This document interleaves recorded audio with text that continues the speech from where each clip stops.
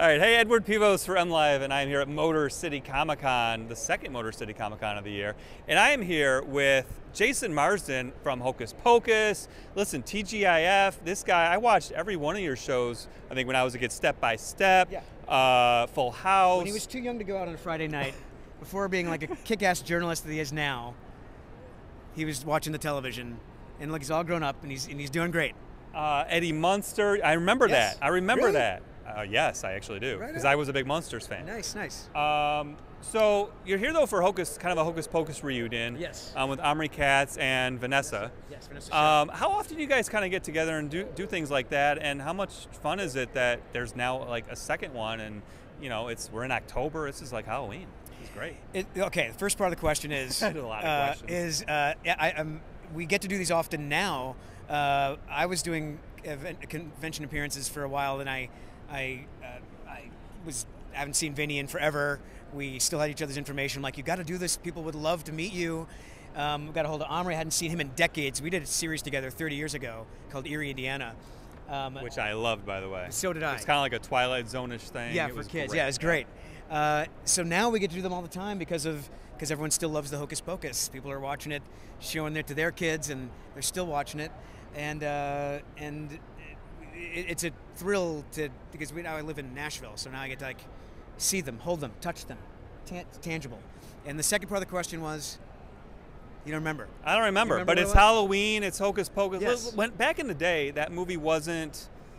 It was almost like a. It wasn't. Was it a flop? I don't know. But it's got so much life nowadays because it's like a cult Halloween classic. It's yeah, great. blows my mind. Yeah, it came out. It came out in July. It was a Halloween movie, released in July. Disney didn't want to compete with uh, uh, Nightmare Before Christmas, so we got the, the push, and uh, and but it's sustained, to, to our surprise and Yeah, delight. with a sequel Yes. now. So Boy Meets World, uh, step a- by step. Here, look, look at the cast right here. Show the. dressed as a, is that Maleficent droid? Oh, right there. Oh, yes. That's a. anything at Comic Con. That's a Star Wars like I don't know, Malef- Maleficent maybe. Yeah, like you said. That's what, that's, that's what I'm thinking. so Okay, enough. Back to me. Hi, hi, hi. Over here, over here. So you kind of almost, I wouldn't say ruled TGIF, but you kind of did. You were in a little bit of everything, and you were really funny. Thank you. I was very fortunate. Like, here's okay. Did you ever get to ride the roller coaster that's in the opening theme? were you there? Uh, yes and no. So the, the the roller coaster you saw in the opening theme was the Six Flags in California that they superimposed. If you look really close, you can see they superimposed like a, mi- uh, the lake uh, on, on, to make it sort of a lakeside amusement park, uh, movie magic. But uh, so yes and no. I got to ride that roller coaster, but not the one depicted in uh, in Wisconsin. Okay. Yeah, where the show took place. So you have over 200 projects that you've done in, in terms of acting. So besides the obvious ones, like you you know we just mentioned, is there anything that you can look back on that you're really proud of that maybe somebody might not know about that you would say you should watch that? I'm in it. It's really cool. yeah, I, well, Erie, like Indiana. Erie, Indiana. Yeah, I love that. I mean, I, I was 17. It, it was like making little little Twilight Zone movies. It was produced by Joe Dante, who did Gremlins, and I'm a big Gremlins fan. And uh, it, it was so much fun. I, I that's if anything, I wish I could do more of those. And uh, it's it's it, I'm proud of the work I did. Omri should be proud of the work that he did. He's fantastic. Um, and I think it still holds up. I think people should Yeah. give it a look see. Okay. Well, there you go. So here you go.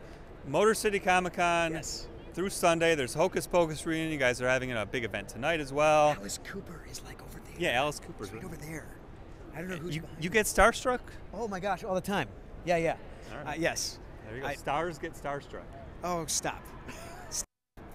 You're a star. I get giddy. I'm, I'm excited to meet Matt Smith because not so much for I'm not. I never saw Doctor Who, but I'm devouring uh, House of the Dragon and uh, looking forward to meeting him. I Yeah. think he's here on Sunday only, so Oh, Sunday. Okay. you're gonna have to wait it out. Work, working it out. So there you go. Yes. So come meet Jason Marsden here at Motor City Comic Con. Please.